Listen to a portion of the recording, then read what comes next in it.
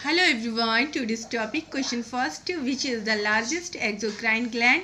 Answer liver is the largest exocrine gland of the human body. Liver secretes bile. Which is the smallest exocrine gland? Goblet. Goblet is the smallest exocrine gland which is the smallest endo endocrine glands? Pineal gland is the smallest endocrine glands.